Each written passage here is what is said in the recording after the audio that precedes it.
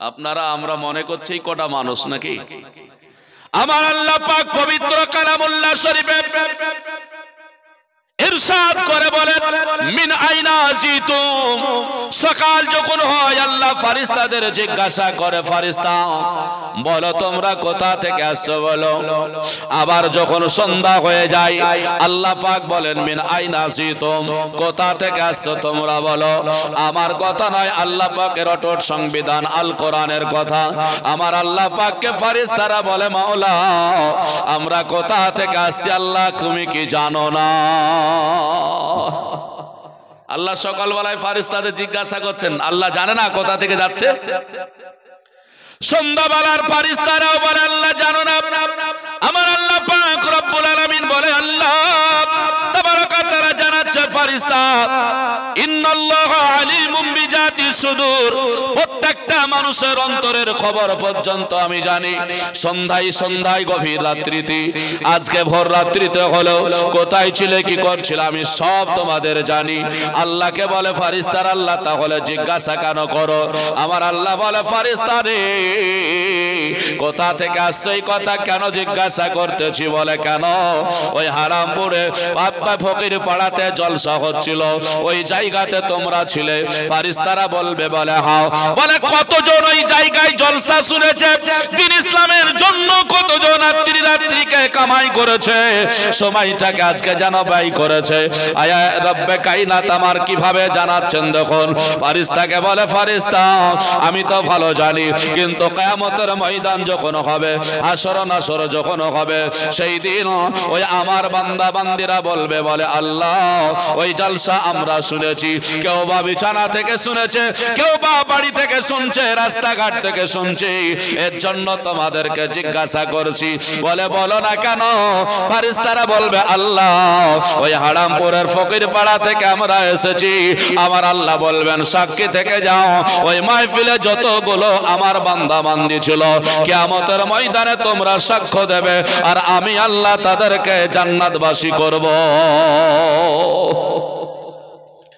তাহলে বাড়ি থেকে যারা শ্রবণ করছে আর রাস্তা থেকে যারা শ্রবণ করছে এই মাহফিলে যারা শ্রবণ করছে, সমান অধিকার কি তারা পাবে? আমার আল্লাহ বলে, না না না না, তারা কোনোদিন সমান অধিকার পাবে না। কারণ ওলামাদের জবান থেকে শুনেছেন আল্লাহ নবী আমার বলেছেন, হালকা জিক্রি রিয়াজুল জান্নাহ। যেই জায়গাটা জান্নাতের, আজকে যেন বাগান হয়ে আছে, কারণ যেই জায়গায় আল্লাহ আল্লাহ রসুলের জিকির আজকার হয়, এই জায়গাটা স্বয়ং আল্লাহ পাকের জান্নাতের বাগানের মধ্যে একটি বাগান হয়ে যায়। এর জন্য এই সভার যত গুরুত্ব, যত ফজিলত রয়েছে, বাইরে পাওয়া যাবে না। যাবে? এর জন্য জেনে রাখবেন, তাই তো আপনার জানো তিহাত্তর ফিরকার মধ্যে একটাই জান্নাতি হয়, বাহাত্তরটা জাহান নামে যায়। অনুরূপ ভাবে সবাই পৃথিবীর জান্নাতে যাবে না। যে আল্লাহ পাক যেভাবে বাছাই করে করে যারাই দিনদার, আমলদার পরেজগার হবে, আমার ফারিস্তারা সাক্ষ্য দেবে, আমার ফারিস্তারা সেই দিন সাক্ষ্য দেবে, আমার আল্লাহ জান্নাতের রাস্তা ধরিয়ে দেবে, আমার আল্লাহ পাক তাই তো নাবিকে বলে, নাবি গো, আমার ফারিস্তা রয়েছে, চিন্তা নাই, আজকে চলে যাও।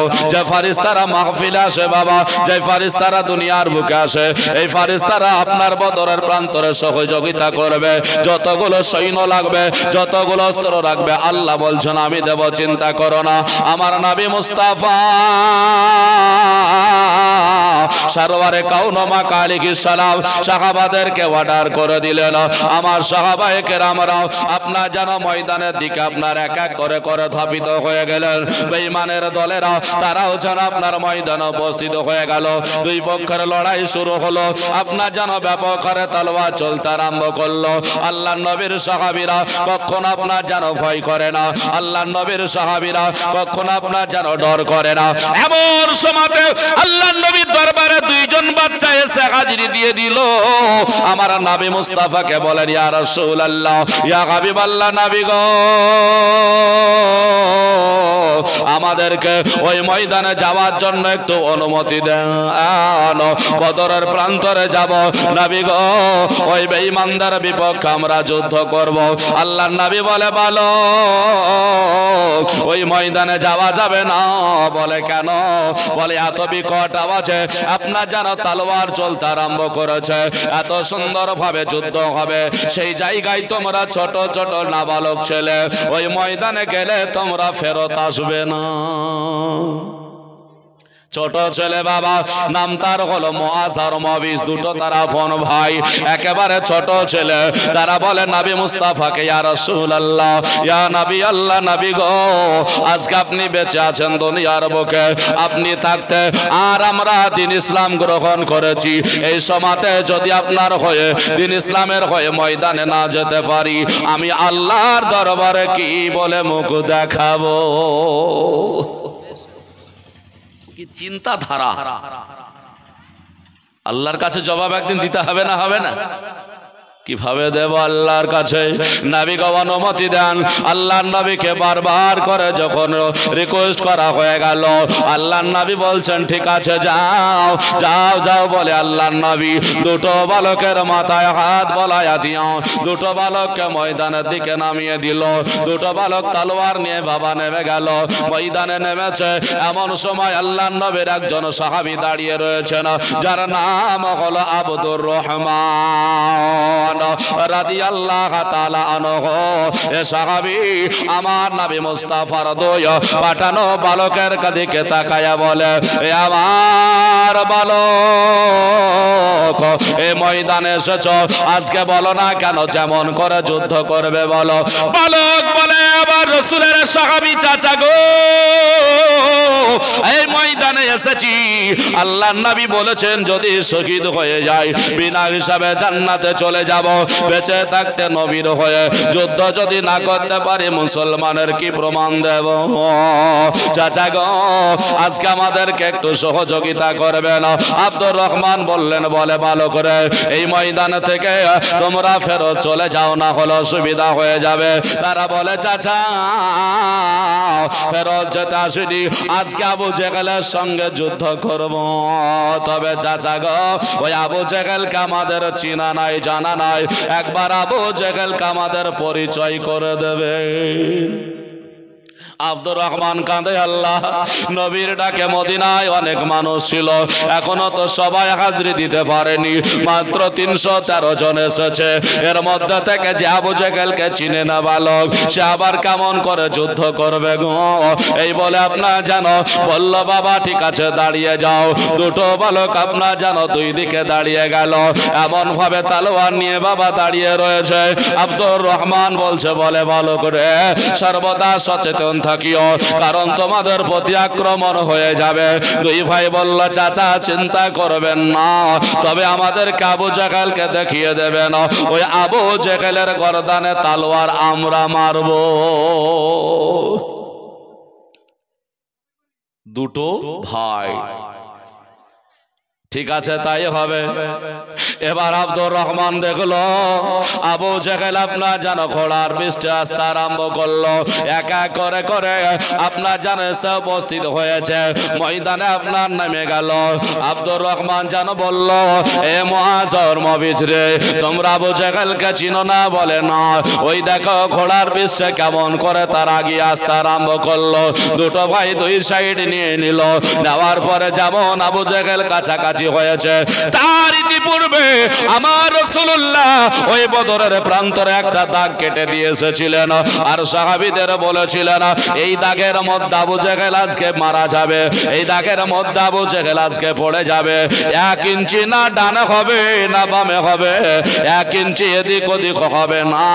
আমি যে জায়গা দিয়ে গেলাম, এই জায়গাতে আবু জেহেল আজকে জমিনে পড়ে যাবে। জোরে বলি সুবাহান আল্লাহ আল্লাহ নবী পূর্বে ঘোষণা দিয়েছে। আল্লাহ আল্লাহ, সুবহানাল্লাহ, যেমনই বাবা আবু জেহেল নিকটে আপনার আসলো, আমারা কাশফি বুখারী শরীফের হাদিস বাবা এসেছে, আল্লাহ নবীর সেই দুইজন পাঠানো, আপনার জানো বালক মজর মবিজ, বাজ পাখির মতো, আপনার জানো ছাপিয়ে পড়ল, যেমন ওই বাজ পাখি ইঁদুর ছানাকে ইঁদুর গুলোকে আপনার শিকার করে অনুরূপ ভাবে দুটো পাখির মতো করে, আপনার যেন দুটো ভাই ঝাঁপিয়ে পড়ল। সঙ্গে সঙ্গে ওই মহাজার মবিজের তালোয়ারের তলে আবু জেগেল জমিনে পড়ে গেল ঝরে বলে সুবাহান আল্লাহ দুটো ভাইয়ের যেমনই তালোয়ার চালানো জমিনে পড়েছে আপনার জানো মজার মবিজ গর্দানে আপনার তালোয়ার মেরে দিয়েছে। কথা শুধু বলে, কেবলমাত্র চলতে পারার শক্তি হলো না। হাত ছুড়ে গিয়েছে, জমিনে পড়ে আর উঠতে পারে না। আল্লাহ নবীর দরবারে খবর হয়ে গেল। আল্লাহ নবী তাড়াতাড়ি করে চাচার কাছে উপস্থিত হয়ে গেলেন। চাচাকে ডাক দিয়ে বলে, চাচা, দয়া করে এই শেষ প্রান্তে চলে এসেছেন আপনি। অর্থাৎ মৌতের কাছাকাছি হয়েছেন। আর দেরি না করে কালেমাটা একবার পড়িয়ে নেন। আমি ময়দানে সাফাত করে আল্লাহর কাছে সাক্ষ্য দিয়া আমি জান্নাতের জন্য আবেদন জানাব। শেষ সময় নবী আমার বলছেন, চাচা, একবার কালেমাটা পড়ে নেন। আবু জেগাল বলল, মোহাম্মদ, ওগো ভাতিজা, না না না না, আমি এখন তোমার কালেমা পড়ব না। বলে, কেন? বলে, আমার বড় আফসোস হয়, আমার বড় দুঃখ হয়, আমাকে দুইজন চাষি, দুটো বালক মেরে দিল। এটাই আমার বড় আফসোস। আল্লাহ নবী বলছেন, চাচা, না না না, এত বড় কথা বলবেন না। শুধুমাত্র আপনার কেবল একটু শ্বাস চলছে। কখন হয়তো আল্লাহ ডাক হলে চলে যেতে। হবে। দয়া করে কালেমা পড়ে নিন আবু জেগাল বলেছিল শেষ মুহূর্তে যদি আমি কালেমা পড়ে নি, তাহলে জগতের মানুষ আমাকে চিটার বলবে। জগতের মানুষ আমাকে বলবে, স্বার্থপর। না না না না, আমি দুনিয়ায় ভালো থাকতে যেমন কালেমা পড়িনি, কত না তোমার কাছে পেয়েছি, অনেক কিছু মাঝে যা দেখেছি। কালেমা পড়িনি, শেষ সময় তোমার কালেমা আমি পড়তে চাই না। আল্লাহর নবী সেই সময় তো আফসোস করলেন, আল্লাহ, আমার চাচা যদি আজকে কালেমা পড়ে নিত, তাও তো আমি জান্নাতের জন্য তোমার কাছে আবেদন করতে পারতাম। আমার আল্লাহ কোরআন মাজিদের মধ্যে জানিয়েছে, খতামাল্লাহু আলা কুলুবিহিম ওয়া আলা সামিহিম ওয়া আলা আবসারিহিম। আমার আল্লাহ বলে, নবী গো, সে কোনোদিন ইসলাম কবুল আর করবে না। কারণ হলো, তার দিল গিয়েছে, মরে তার কানে আপনা যেন ফটি লাগানো হয়েছে, চোখে ফটি লাগানো হয়েছে, কানে সিফিয়ার চোখে ফটি বলা হয়েছে। বন্ধু আমার ভয়েরা এর জন্য আল্লাহ নবীকে বলছেন আবু জেহেলকে, যত ভালো কথাই বলা যাক না কেন, সে আর দিলে কাঁদবে না, আর ভালো কথাটা কানে শুনবে না, আর যত ভালোই দেখানো হোক না কেন, আর কোনোদিন সে চোখে ভালো দেখবে না। আল্লাহ নবী আমার। সেই সময় বলছেন, আল্লাহ, তাহলে শেষ কেন মুসলমান আর হলো এই করে করে আবু জেহেল আল্লাহ নবীর সামনে আপনার জানো ইহ জগৎ ছেড়ে আপনার জানো চলে গেল, ইন্তেকাল করল। আবু জেহেল মারা গেল। আল্লাহ নবী সাহাবিদেরকে ডাক দিলেন, সাহাবিরা রে, একবার তাড়াতাড়ি করে আমার দরবারে সবাই এসে আল্লাহ নবীর দরবার উপস্থিত হয়ে গেল। ইতিমধ্যে দুইজন আপনার বালক মহাসর মবি চলে আসলো। আবু জেগেল যেমন জমিনে পড়া, সব জনকে কেমনে দিক ওদিকে পালাতে আরম্ভ করে দিল। বন্ধু আমার ভয়েরা সেই ময়দানে টাকা কেউ ফেলে গেল, কেউ মাল ফেলে গেল, কেউ আপনার যেন সবারই যুদ্ধের উটগুলো ফেলে চলে গেল। আল্লাহ নবীর সাহাবিরা ওগুলোকে একত্রিত করে নবীর দরবারে নিয়ে হাজিরি দিয়ে ফেললেন। শুধু তাই নয় তাই নয়, ওই বেঈমানদের পক্ষে যারা যুদ্ধ করেছিল। ওর মধ্যে থেকে আমার আলাইহি ওয়াসাল্লাম বললেন, এক করে করে ৭৭ জনকে ধরে নে, বন্দী করা হলো। ইমান কাকে বলে? নাবির মোহাব্বত কাকে বলে? সহাত্তর জন ব্যক্তিকে ধরে নিয়ে আসা হলো। উপস্থিত। আল্লাহ নাবি দেখছেন, গানিমাতের মালগুলো বন্টন করছে না হাতে বেড়ি বাঁধা আছে। আল্লাহ নবীর চাচার হাতে বেড়ি। অঝর নয়নে কাঁদছেন। নাবি আমার বলছেন, এত চিৎকার মেরে ঘরে কান্না হয় কেন? সাহাবিরা বলছেন হোসর এক নয়, দুই নয়, সহাত্তর জনকে ধরে আনা হয়েছে। তাদের হাতে বাড়ি বেড়ি দেওয়া আছে। আপনার চাচার জন্য কাঁদছেন। নাবি বলছেন, চাচার হাতটা একটু ঢিল করে দাও, জোরে বলে, সুবহানাল্লাহ। যুদ্ধের কাহিনী খুব লম্বা। তবু আমি সারমর্ম আপনাকে জানাতে চাইছি। নাবি মুস্তাফার প্রতি ইমান না আনার কারণে আবু জেহেলের কি হলো? আর নাবি মুস্তাফা সেই ময়দানে কি ফয়সালা দিলেন? এই দুটো কথা বলে বক্তব্য শেষ করব। আবু জেহেল যখন মারা গেল তো সাহাবিদের বলছেন, একে টানতে আরম্ভ করো। টানতে টানতে নিয়ে যাও কোথায়? আমাদের দেখবেন পৌরসভার গাড়িগুলো টাউনে থাকে।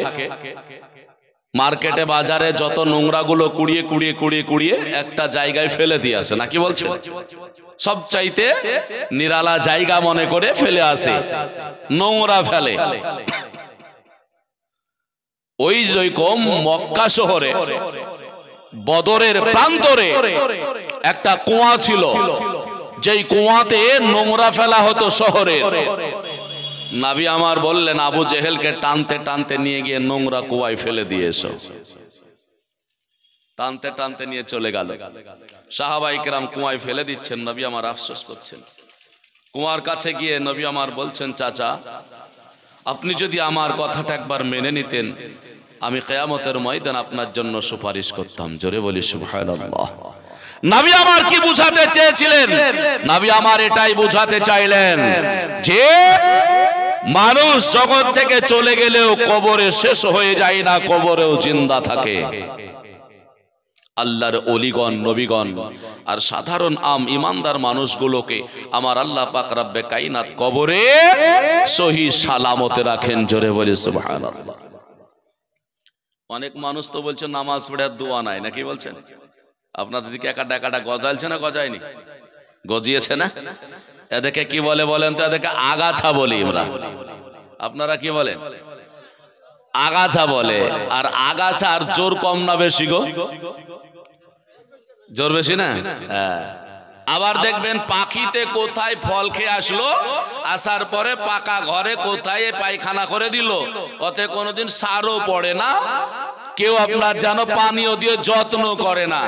অথচ ঘর ফেটে দিয়ে এত সুন্দর করে গাছ হয়। হয় না হয় না? পুরাতন ঘরগুলো না দেখেন আছে না নাই? আছে।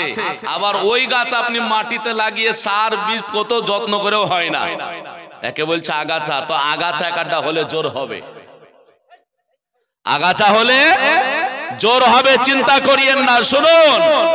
মোনাজাত আল্লাহ নবীর হাদিসেও আছে, আল্লাহর কোরআনেও আছে। নাই এমনটা নয়, আছে। তবে চোখ লাগবে না, কি বলছেন? চোখ লাগবে।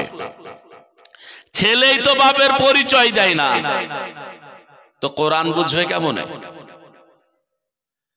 আল্লাহ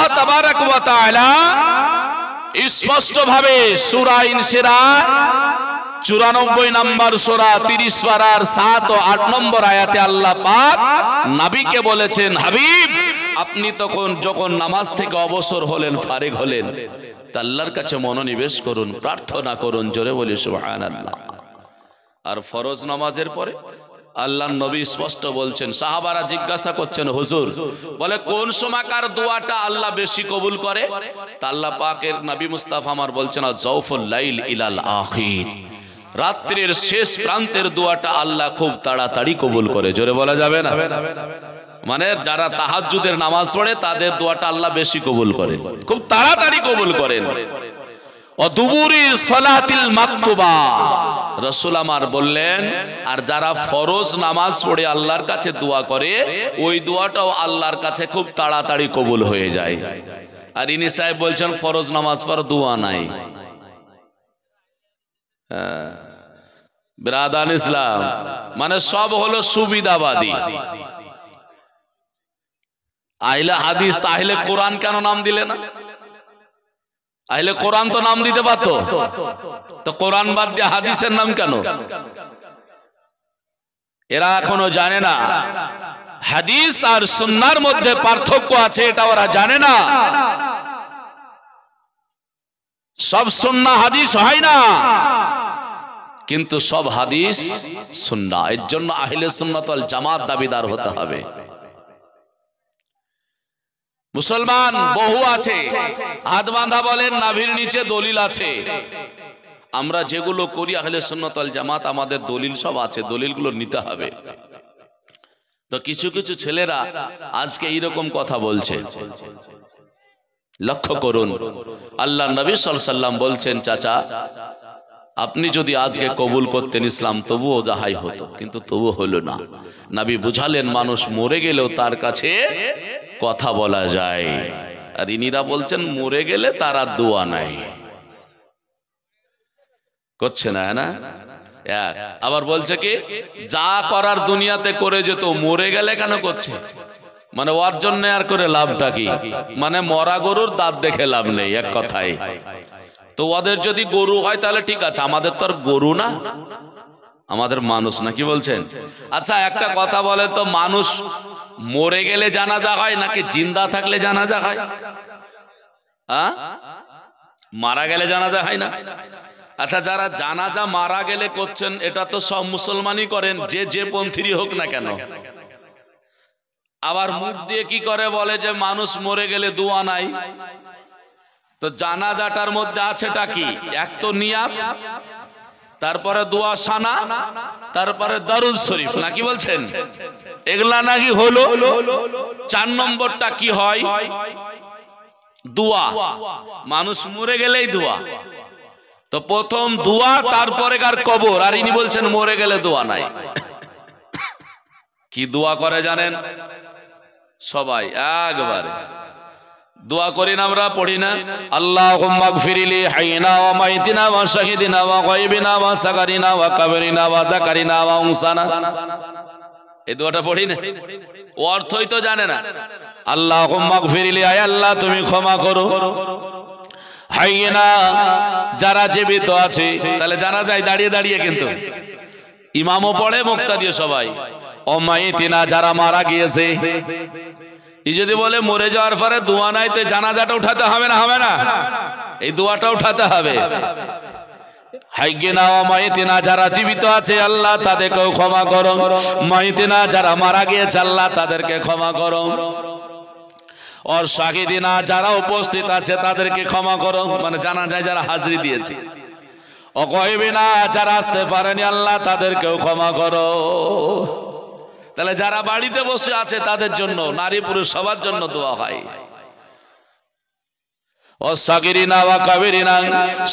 মানে ছোট, যারা ছোট আছে, তাদেরকেও ক্ষমা করো। কাবেরিনা যারা বড়, তাদেরকেও আল্লাহ তুমি ক্ষমা করো। বা যারা পুরুষ তাদেরকে আল্লাহ ক্ষমা করো। অংশানা যারা নারী, আল্লাহ তাদেরকেও ক্ষমা করো, জোরে বলে সুবাহান বেটা বলল, মরে গেলে দোয়া নাই, আর দোয়া ছাড়া আমরা বলি মাটি নাই। যদি মরে গেলে দোয়া না থাকে তাহলে পরে থাকে এক নম্বর হলো মাটি দিতে হবে কোন রকমের কোন উপায় নাই। ব্রাদার বিনা জানাজাতে মাটি দিতে হবে তবে কার হবে? আর যদি জানাজা পড়া হয় তাহলে জানতে হবে মানুষ মরে গেলে তার জন্য দোয়া দিয়ে শুরু হয়। আরে বলছে মরে গেলে দোয়াই নাই দোয়াই নাই। মুসলমান আমার ভয়েরাও আল্লাহ নবী বলছেন, বলে, না না না, শোনো, মানুষ যদি মারা যায়, তার জন্য বেশি বেশি করে দোয়া করো, যত পারবে করো। কারণ হলো ভয়া, ভয়াবহ বহু জায়গা হলো কবর। এর জন্য নবী আবু জেকালের কবরের কাছে গিয়েও আপনার যেন একবার জিজ্ঞাসা করল বিরাদার, আমাদের মানুষ যখন ইন্তেকাল করে যায়, আমরাও যেন এইভাবে আপনার কবরের কাছে গিয়ে জিয়ারত করি, দোয়া করি। যাই হোক না কেন, আল্লাহ আল্লাহ নবী সেখান থেকে বাড়ি এসে সমস্ত খবর নিলেন। যারা জেলবন্দি হয়েছিল, আফসোস হয়ে যাবে অবাক হয়ে যাবে ওই যুদ্ধের ময়দানে আল্লাহর নবীর আপনার নিজের জামায় আপন জামায় আবুলাস হাজরি দিয়েছিল। কিন্তু নবীর পক্ষে নয়, নবীর বিপক্ষে। সিদ্দিক হলেন নবীর পক্ষে, উনার বেটা আব্দুর রহমান হলেন বিপক্ষে। পরক্ষণে ইসলাম কবুল করেছিলেন। এখন তো বাপ নবীর পক্ষে ইয়া নবী সালাম আলাইকা, আর বেটা হলো তার বিপক্ষে। বলছে, সব ভুল করে গেছে সব ভুল। আগেকার লোক সব মূর্খ ছিল, বলে না? আগেকার লোক যদি মূর্খ ছিল, আগেকার সব ফর্মুলা গুলো বাদ দাও না। অঙ্কের ফর্মুলা বাদ দাও, বাংলা গ্রামার ফর্মুলা বাদ দাও, আরবির ফর্মুলা বাদ দাও, দিয়ে নতুন করে তৈরি করো একটা। ব্রাদান ইসলাম, তো ইয়ানাবি সালাম আলাইকা এই আনাবি সালাম আলাইকা গাইলে পারে অন্যায় হয়ে গেল বাদ বাকি আর অন্যায় না নাকি বলছে? Hi hi hi. লক্ষ্য করুন আল্লাহ রসুলের দিকে, কিন্তু একটা যুক্তি দিচ্ছি, দেওয়ার পর আলোচনাটুক এগিয়ে নিয়ে যাচ্ছি। একটা নাত পড়েন, আমি দুটো শের বলছি। অন্যায় যদি হয়ে থাকে, অপরাধ যদি আনবিত হয়ে থাকে, তাহলে ওরাই করেছে আমরা করিনি। সবাই একটা নাত পড়ে, হাজারো ব্যথা, বেদনার পরে। ফিরে আসনি তবু আপন ঘরে দিনের আলো ছড়িয়ে দিতে। চলে গেলে মদিনাই মক্কা ছেড়ে হেরাসোল তোমাকে ভুলি বলো কেমন করে? হেরাসোল তোমাকে ভুলি বলো কেমন করে? হাজারো ব্যথা বেদনার পরে ফিরে আসনি তবু আপন ঘরে, দিনের আলো ছড়িয়ে দিতে। চলে গেলে মদিনাই মক্কা ছেড়ে মক্কা ছেড়ে, হে রাসুল হে রাসুল হে রাসুল, তোমাকে ভুলে বলো কেমন করে, হে রাসুল, তোমাকে ভুলে বলো কেমন করে। গজলটা বলে না বলে না? হেরাসুল গজলটা মিজানুর রহমান আজহারি বলেছে। হেরাসুল গজলটা আমিরা হামজা বলেছে, সুন্নিরা বলে, দেওবন্দিরা বলে, ফারাজিরা বলে, সব বই হেরাসুল তোমায় ভুলিব বল কেমন করে? কোন অপরাধ নাই, অপরাধ আছে? যেমনই দাঁড়িয়ে নবী সালাম আলাইকা, ইয়া রাসূল, ওরে বাবারে ফতোয়া লেগে দিল। আহ? ইয়া নবী মানে হলো হে নবী। ইয়া রাসূল মানে হলো হে রাসূল। তাহলে বাংলায় গাল দিলে পারে অন্যায় না আরবিতে দিলে অন্যায় নাকি? আরবিতে গাল দিতে পাবো নাকি? কি বলছেন আপনারা? তাই তো হচ্ছে নাকি? আরবিতে নবীকে সালাম দিচ্ছি তাহলে পরে অন্যায় আর বাংলায় যদি ওরা বলে অন্যায় না একই তো। মুসলমান এর জন্য বলে বলে ঠিকই বুঝে না। মুসলমান আমার আল্লাহ নবীর নিজের আপন জামাই যার নাম হলো আবুলাস আবুলাস নবীর বিপক্ষে আপনার যেন দাঁড়িয়েছিল যুদ্ধে কিন্তু ওই যে সহাত্তর জন যাদেরকে ধরিয়েছিলেন এর মধ্যে উনিও একজন ছিলেন বাবা। আল্লাহ নবীর সাহাবারা আপনার যেন করলেন কি ফিদিয়া দিতে আরম্ভ করেছেন। সুভান আল্লাহ নাম আতর আলী। আপনার জানা হদিয়া থেকে পাঁচশত টাকা নবী আল্লাহর ঘরে দান করেছে, জোরে বলে নারায় তকবীর। নারায় আলা হাজরাত আতর আলী সাহেব পাঁচশো টাকা দাতা, জোরে বলে জিন্দাবাদ। আল্লাহ নবী বলছেন মাম্বানা মসজিদান ইল্লাহি বানাল্লাহু লাহু ওয়াইতান ফিল জান্নাহ। মিসলাহু ফিল জান্নাহ। আল্লাহ নবী দুটো বলেছেন, যে ব্যক্তি অর্থ দান করল, যত সুন্দর করে মসজিদ বানালো, তার অর্থ দিয়ে আল্লাহ পাক তার চাইতে কোটি গুণে সুন্দর আল্লাহ তার জন্য জান্নাত রেখেছেন। বালি পাথর ইটের জাত মসজিদ হলো। মসজিদের অর্থ তৈরি দিয়ে তৈরি হলো মসজিদ বালি পাথর দিয়ে। আমার আল্লাহ রব্বুল আলামিন তার জন্য হীরামণি মুক্তা দিয়ে মসজিদ বানিয়ে দেবেন। তাকে জান্নাত দেবেন। এ মুসলমান আমার বারা চলুন না কেন? নবীর আপন জামাই আবুলাস যখন আপনার জানো নবীর বিপক্ষে যুদ্ধ করে ধরা পড়ে গিয়েছি আলোচনা শুরু হয়ে গেল। আবু বকর সিদ্দিক রাদিয়াল্লাহু তাআলা আনহু রয়েছেন। ওদিকে নবীর সাহাবী হযরত ওমর রাদিয়াল্লাহু তাআলা তালানহু রয়েছেন। হজরতে ওমর রাদিয়াল্লাহু তালানহু বলেন, ইয়া রাসূলুল্লাহ, ইয়া হাবিবাল্লাহ নবী গো, এদের বিচারটা কি হবে? আমার নবী বলছেন, তুমি একবার বলো তো দেখি। আবু বকর সিদ্দিক রাদিয়াল্লাহু বসে রইলেন। হযরত ওমর বলে নবী গো, আমি যেটা বলছি, আপনি কি শুনবেন? বলে, বলো তো দেখি একবার। হযরত ওমর রাদিয়াল্লাহু তাআলাহু বলেন, হুজুর, যে যত নিকটের লোক, সে তাকে তত কতুল করবে। হজরতে উমর রাদিয়াল্লাহু তাআলা আনহু বলছেন, আমার যদি আব্বাও হয়, আমি কতুল করব? জোরে বলবেন না? কি মান? নবীর চাচার কাছে যাচ্ছেন। নবীর চাচার কাছে কে বলেন অগনবীর চাচা, আজকে আজকে আপনার কি একবার লজ্জা হয়েছিল না? সারা জগৎ বলবে নবীর চাচা। নবীর বিপক্ষে যুদ্ধ করেছে। নবী মুস্তাফার জামাই আবুল আসর কাছে গিয়ে বলে, আবুল আসরে তোমার কি একবার লজ্জা হয়নি? তোমার কি বিবেক বাধা দেয়নি? তোমার শ্বশুর নবী মুস্তাফা আর তার বিরুদ্ধে আজকে ময়দানে নেমে গিয়েছ। আজকে বলো না কেন একবার তোমার লজ্জা হলো না? জগতে নবীর নামটা নেবে রে। এর জন্য তোমাদের ঘৃণাও একবার হয়নি। আর আমি ওমর। এ দেখেন একজন নজওয়ান দুইশো টাকা দান করেছে। যার কাছে যা আছে দান করলে চলে আসুন, চলে যাব বাবা। এইবার রাত্রি আর আল্লাহ পাক হয়তো মিলাবে কিনা জানি না।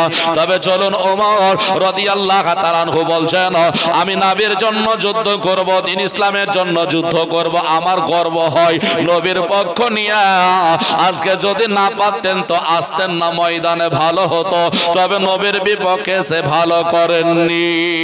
আল্লাহ নবী বড় আপনার যেন চিন্তা করতে লাগলেন নাবি মুস্তাফা আমার বলে, আল্লাহ ওমর যে রায়টা দিল, তাতে তো আমার জামাইকে আমাকে কতুল করতে হবে, আমার চাচাকে কতুল করতে হবে।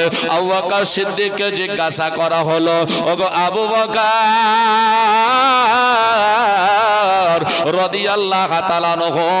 আজকে একটু জবান খোলো তো দেখি, কীভাবে আজকে এদের হবে। আবু বকর সিদ্দিক বলেন আজকে তাদের কে ফিদিয়া নিয়ে ছেড়ে দেওয়া হোক। আল্লাহর নবীর সাহাবী যেমন বাবাই কথা বলেছেন, হযরত ওমর রাদিয়াল্লাহু তাআলা নহু মেনে নিলেন। আমার নবী বললেন হ্যাঁ ঠিক আছে, তাদেরকে ফিদিয়া নিয়ে বাবা ফেরত দেওয়া হবে। এক এক করে করে। আর যারা ইসলাম কবুল করবে, গনিমতের মালগুলো তাদেরকে বন্টন করে দিয়ে দাও। তারা নতুন নতুন বেশি বেশি করে তাদেরকে দিবে। যারা পুরাতন সাহাবি, তাদেরকে একটু অল্প অল্প করে দেবে। মুসলমান আমার ভাইরা আজকে দেখুন না কেন, এইরকম যখন ফিদিয়া নিয়ে আরম্ভ হলো, আপনার যখন একে একে ফিদিয়া নেয় আর ছেড়ে দেয় আল্লাহ নবীর আপনার যেন জামায় আবুলাস পড়ে রইল। আল্লাহ নবীর বেটি। ওনার যেন গলার একটা হার ছিল গো, ওই হারটা যেন স্বামীকে ছাড়ানোর জন্য ফিদিয়া স্বরূপ দিয়েছে, জোরে বলে সুবাহান গলায় ছিল মালা। যেমনই সঙ্গে সঙ্গে এটা বললেন বলে, এটা আজ এক নয়, দুই নয়। মালাটা নিয়ে যাও আর আমার স্বামীকে ছাড়িয়ে নিয়ে এসো। একজনকে দিয়ে আপনার যেন পাঠানো হয়ে গেল। সাহাবার কাছে এসে আপনার যেন গলার হারটা পৌঁছে গেল। হারটা নিয়ে গিয়ে নবীর বেটি আপনার যেন গলা থেকে দিয়েছি। আল্লাহ নবী মুস্তাফার হাতে দিয়ে হলো। নবী গো, এই আপনার বেটি আপনার কাছে হার পাঠিয়েছে। হারের বদৌলতে তার স্বামীকে ফেরত দিতে বলেছে। বন্ধু আমার ভাইরা এবার আপনার করলেন কি? আল্লাহ নবী যেমনই গলার হার দেখেছেন, ওনার চোখে যেন পানি সাহাবি! বলে রাসূলুল্লাহ। গো, আপনি কেন কাঁদছেন? বলুন আমার নবী বলে সাহাবি রে এই কারণে কাঁদি রে। আজকে যখন গলার হাতটা আমার হাতে এসে পড়ে গেল, নবী আমার বলেন আমার অর্ধাঙ্গিনী বিবি খাদিজাতুল কুবরা রাদিয়াল্লাহু তাআলা আনহা জগৎ থেকে চিরতরের মতো বিদায় নিয়ে চলে গিয়েছেন আমার কাছের বিবি, আমার সুখে দুঃখের বিবি আমার বিপদের বিবি সর্বদা আমার কাছে থাকতো রে। এই বিবির গলার হালটা আমার কন্যার হাতে তুলে দেওয়া হয়েছিল। ওই কন্যা আজকে নিজের স্বামীকে ফেরত নেওয়ার জন্য হাতটা আমার কাছে দিয়েছি। আমার অর্ধাঙ্গিনী বিবি খাদিজাতুল কুবরা রাদিয়াল্লাহু তাআলা আনহার কথা যেন স্মরণ হয়ে গেল। যাই হোক বাবা, নবীর চোখের পানি। শাখাবারা বলে, নবী গো আজ আর কাঁদলে হবে না। আপনার জামাইকে আজকে যেন ছেড়ে দিতে হবে। আল্লাহ নবী বললেন হ্যাঁ আমার জামাই আবুল আসকে আমি ছেড়ে দিতে পারি। তবে এই ফিদিয়া শুধু দিলে হবে না, তার জন্য আর একটা শর্ত রইল। যাও যাও, আবুল আসকে কি একবার বলে এসো। শর্ত হলো, এইখান থেকে যতদিন বাড়িতে পৌঁছাবে, ততদিন পর্যন্ত তাকে যেন একটা আপনার চিন্তা ধারা নিতে বলো। তার জন্য হলো আজকে এখান থেকে বাড়ি যাওয়া পর্যন্ত যেন ফয়সালা নিয়ে নাই, সে যদি ইসলাম ধর্ম কবুল করে নাই, আজকে যদি কালেমা পড়ে নাই, নবীর বিপক্ষে দিন ইসলামের বিপক্ষে যদি না হয়, তাহলে পারে ঠিক আছে। আর যদি না হয়, তাহলে পারে বাড়ি গিয়ে যেন আমার বেটিটাকে আমার এখানে ফেরত দিয়ে দেয়। আমার নাবি বলে, কোনো বেঈমানদের হাতে তুমি বেটি দিও না আমাদের আগে দেখতাম হানাফি ফরাজি একটা বাছাবাছি হতো বিয়েতে, সুন্নি শিয়াদের বাছাবাছি হতো। এখন বলছে হানাফি ফরাজি কিছু নাই, সব মুসলমান। শিয়া সুন্নি নাই, সব মুসলমান। হাই হাই হাই একটা শিয়া যদি বড় লোক হয়, তো মেয়ে ভালো যদি দেখতে হয়, আর টাকা পয়সা আছে বিয়ে দিয়ে দিবে। এই পরিস্থিতি আমাদের হচ্ছে না, হয় না? বলে, আর যাই হোক দাই খালাস বলছে, যাহাই করে বেটির বিয়ে দিতে পারলেই হলো। মনে হচ্ছে রুজির মালিক ও দায় লিয়েছে আল্লাহ পাক হলো রুচির মালিক, চিন্তা করবেন না। চিন্তা যারা করে তারাই হলো বেওকুফ বাবা। এর জন্য রুজি নিয়ে কোনো সময় চিন্তা করতে হয় না গো। বন্ধু আমার ভাইয়েরা, চলুন না কেন একবার এগিয়ে যাই। আল্লাহ নবী মুস্তাফা শর্ত দিলেন। এবার আবু লাশ, এক দুই করে করে আপনার যেন ছটা দিন সময় লাগল। পায়ে হেঁটে বাড়ি পৌঁছে গেল। আপনার নিল বলে না ফাইসালা করে নিল। ওই সময়তে বলে না, ইসলাম কবুল করব না। নবীর কালেমা পড়ব না। তবে একটা ওনার মানসিকতা কি ছিল দেখুন, ওনাকে শর্ত দ্বিতীয় দেওয়া হয়েছিল। নবীর বেটিকে যেন নবীর ঘরে পৌঁছায়া দেয়। নবীর বিপক্ষে যারা চলবে, নবীর বিপক্ষে যারা হয়ে যাবে, তাদের সঙ্গে আমার মেয়ে থাকবে, এটা হবে না। আবুলাস করল কি? ওই নবীর শুনিয়া আপনার যারা বাড়ি গিয়ে চিন্তা নিল নেওয়ার পর আল্লাহ নবীর বেটিকে বলে, আর দেরি নয় গো। চলো চলো, তোমাকে নবীর ঘরে পৌঁছায়া দিয়ে আসি বলে, কেন গো? বলে, এই কারণে তোমার পিতা শর্ত দিয়েছে, আমি যদি দিন ইসলাম কবুল করি, তাহলে আমার ঘরে তুমি থাকতে পাবে, আর যদি না হয়, তাহলে পরে তাকে ফেরত দিতে হবে। তাই তোমাকে তোমার আব্বাজানের ঘরে আমি পৌঁছিয়ে দিতে চাই। মুসলমান আমার ভাইয়েরা, কানে একটা জিনিস শুধু বুঝতে হবে, সেটা হলো নবীর বিপক্ষে হলো নবীর কথাটা মেনে নিয়েছিল। আমরা নবীর পক্ষে হয়েও নবীর কথা বাবা মানি না, নবীর কথা বাবা স্মরণ আমরা করি না। এর জন্য বড় আফসোসের বাবা কথা। যাই হোক বাবা, আমার আল্লাহ পাক রব্বে কাইনা জানিয়েছে, চিন্তা করো না। বিপদ যদি তোমাদের আসে রে, আমি আল্লাহ আমাকে তোমরা স্মরণ করবে, আমাকে ডাকবে। আমি আল্লাহ তোমাদেরকে সাহায্য করব। আল্লাহ আসলে আলা মাওলানা মোহাম্মদ আলে মাওলানা মোহাম্মদ সাল্ল আলা মোহাম্মদিন মোহাম্মদ হরদম সব পাক নামে মোহাম্মদ দহর দম অসেরে কালো সাফি আনা মোহাম্মা সীমান্তটা দাও খুলে দাও, আশুক রায় পারে আর কিছুদিন থাকবে ওরা এ দুনিয়ার ওপরে, আর কিছুদিন থাকবে ওরা এ দুনিয়ার ওপরে। মুসলিম বলে নাই কি তাদের কোন অধিকার? অন্যায় ভাবে হত্যা করে কেন বারবার রে? কেন বারবার? মুসলিম বলে নাই কি তাদের কোন অধিকার? অন্যায় ভাবে হত্যা করে কেন বারবার রে?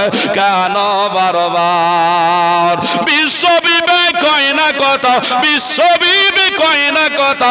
কেন তাদের দরবারে আর কিছুদিন থাকবে ওরা এ দুনিয়ার ওপরে আর কিছুদিন থাকবে ওরা এ দুনিয়ার ওপরে সীমান্তটা দাও, খুলে দাও, আশুক পারে আর কিছুদিন থাকবে ওরা এ দুনিয়ার ওপরে মুসলিম মরা ভাই ভাই বলে, সকাল বিকাল মুখে, আর কতজন তাদের পাশে দাঁড়ায়? অফর ভাইয়ের দুঃখে রে, অফর ভাইয়ের দুঃখে। মুসলিম মরা ভাই ভাই বলে, সকাল বিকাল মুখে, আর কতজন তাদের পাশে দাঁড়ায়? অফর ভাইয়ের দুঃখে রে, অফর ভাইয়ের দুঃখে লেগেছে, আগুন পড়েছে, বাড়ি চলেছে আর কান মাটি দেওয়ার মিলেনি কাফন, মিলেনি গরস্থান। রে মিলেনি গরস্থান। এ পার থেকে পাঠালে পারে এ পার থেকে পাঠালে পারে, মারবে তারায় পারে আর কিছুদিন থাকবে ওরা এই দুনিয়ার ওপরে আর কিছুদিন থাকবে ওরা এ দুনিয়ার ওপরে অবলা শিশু, অবলা নারের বুক ফাটা চিৎকার। আরে সব দেখে তোমার বুকে করে না, হাহাকার রে, করে না, হাহাকার। অবলা, শিশু অবলা, নারী বুক ফাটা চিৎকার। এসব দেখে তোমার বুকে করে না, হাহাকার রে, করে না, হাহাকার। আবু হুবাকার ওমার ওসমান নেই যে দুনিয়ায়। এবার তোমায় দিতে হবে তাদের আশয় রে তাদের আশয় সীমান্তটা দাও খুলে। দাও, আসুক পারে, আর কিছুদিন থাকবে ওরা এ দুনিয়ার ওপরে, আর কিছুদিন থাকবে ওরা এ দুনিয়ার ওপরে। মুসলমান আমার ভাইরা যাই হোক, আমি আর সময় নিচ্ছি না। এখান থেকে আমার বক্তব্য ইতি করতে চাই। তবে একটা কথা আপনাদেরকে বলে যাই সর্বদা আল্লাহ পাকের ইবাদত করার চেষ্টা করুন। যতটুকু পারবেন আল্লাহ পাক রব্বে কাইনাত অনেক সময় দিয়েছে। কার কখন ডাক চলে আসছে কে কখন চলে যাচ্ছে? আমরা হাজার হাজার মানুষকে চোখের সামনে চলে যেতে দেখলাম। কেউ পরে জন্ম নিয়েছে, আগে চলে গেল। কেউ আগে জন্ম নিয়েছে, সেও চলে গেল। কত বাপ ছেলেকে কাঁধে করে নিয়ে গেল, কত ছেলে বাপকে কাঁধে করে নিয়ে গেল। ঘটছে না, ঘটে না? সব ঘটছে। কবরস্থানে গেলে মনে পড়ে, কবরস্থান থেকে আসলে সব ভুলে যায় এগুলো যেন না হয়। রাদান ইসলাম মজাজ সামাইন হাজরাত, আমাকে চিনেন মৌলানা শরীফুল ইসলাম। শরীফুলকে চিনেন আপনারা নাকি? হ্যাঁ শরীফুলকে চিনেন, সেও আমাকে চিনে। এখানকার মাদ্রাসার প্রধান শিক্ষক মৌলানা মমিনুল ইসলাম, তিনি চিনেন। হজরত তাজউদ্দিন সাহেব, উনিও চিনেন। আমাকে এখানে যতগুলো ওলামা আছে, আমাকে সবাই চিনেন। আমি কালুপুর মাদ্রাসার একজন শিক্ষক, খাদিম। ওখানে করে কাজ করি। ইনশাল্লাহ আজিজ, কোনো প্রয়োজন, মাসলা মাসাইল মাদ্রাসা থেকে তো আছেই। আপনারা পেয়ে যাবেন। প্রয়োজন যদি হয়, হুজুরদেরকে বলবেন। হুজুররা যোগাযোগ করে দেবে। মমিনুল ইসলাম, তাজউদ্দিন, হজুররা আমাদের একেবারে খাস। একবারে কাছে আমরা যখনই যাই, এক জায়গায় হলে দেখা সাক্ষাৎ কথাবার্তা ফোনে মাঝে মধ্যে হয়। আল্লাহ পাক ওনাদের দীর্ঘ হায়াত দান করুক ওনারা দিন ইসলামের খিদমত করছেন। আল্লাহ পাক ওনাদেরকে দিন ইসলামের খিদমত করুন, এক সকলে বলি আমিন। সকলে একবার সালাত সালাম পড়িয়া নবী, সালাম